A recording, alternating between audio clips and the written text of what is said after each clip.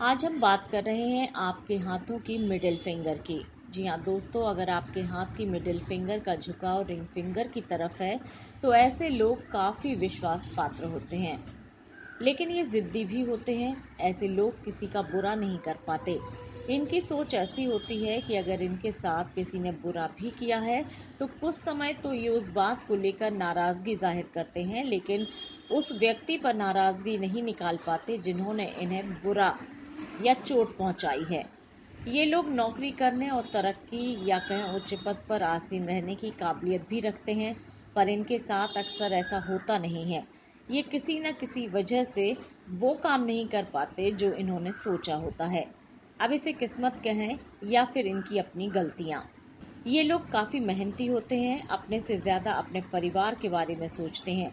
अधिकतर ऐसे लोगों को वो लड़का हो या लड़की उन्हें शादी के तीन साल तक ससुराल पक्ष से परेशानियाँ मिलती हैं, लेकिन उसके बाद उनका जीवन सुखद हो जाता है।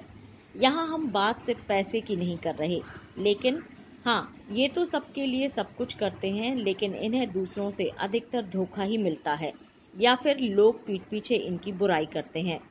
तो ऐसे लोग जिनकी मिडिल फिंगर तिरछी है, थोड़ा सावधान रहें और सोच समझकर जीवन में आगे बढ़ें।